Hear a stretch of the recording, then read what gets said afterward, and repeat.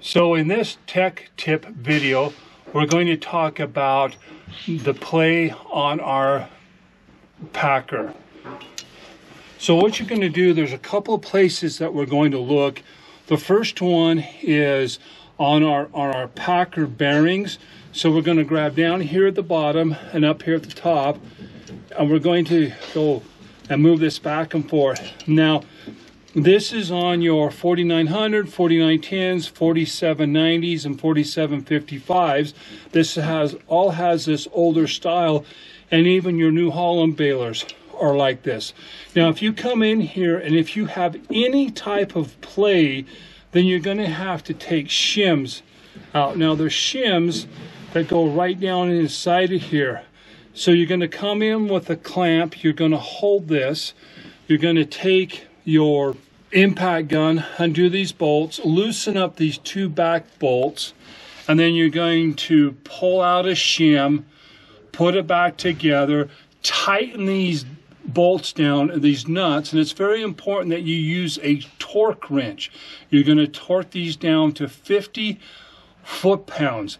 Then you're going to go ahead and once you've done that to 50 foot-pounds, you're going to have your dog bone up here undone. Then you're going to see if you can turn it basically a full turn without a binding. Then you're going to come back down here and see how much play. So you're looking for here, how much play you have, and then and then can you turn it without without a binding. Now that's the the binding is the most important thing. We do not want it to bind on these older bear, balers.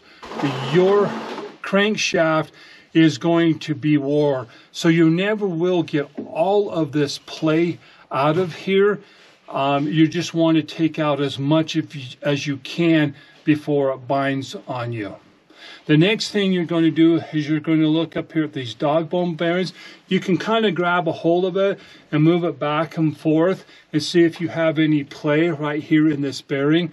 The best way is to undo this bolt right here pull it out and turn it and, and see if you have if it's sticky. Most of the time you're going to find that the, that bearing will be sticky and you need to replace it.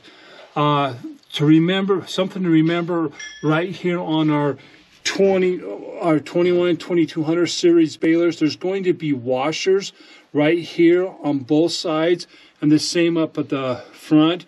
You're going to want to make sure that you keep track of those washers and put them back the way that you took it apart.